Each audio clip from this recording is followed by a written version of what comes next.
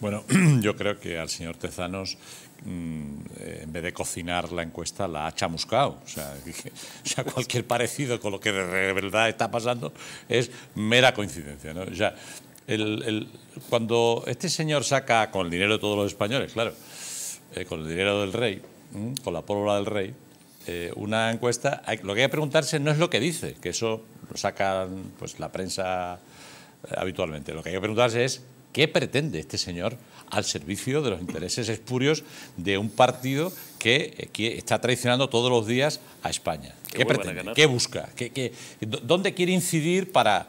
Entonces, yo creo que en, en este batiburrillo, y no soy un buen analista de estas cosas porque a duras penas probé la bioestadística en la carrera, pues, eh, pues no, no soy un buen analista, pero sí, sí me da olfato a que no podemos hacer que el PSOE esté por debajo del PP por lo de las expectativas. No podemos hundir a, a- a Podemos porque ya está hundido y porque si no...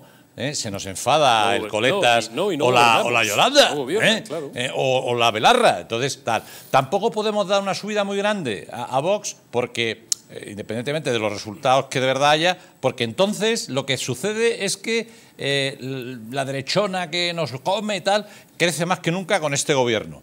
Y al Partido Popular lo tengo que dejar en segundo lugar, pero hay un semiempate para que vaya de segundón en la encuesta.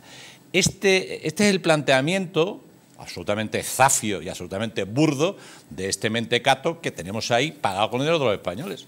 Y yo, sinceramente, creo que, que, que, mm, eh, hay, hay comedias más tristes ¿eh?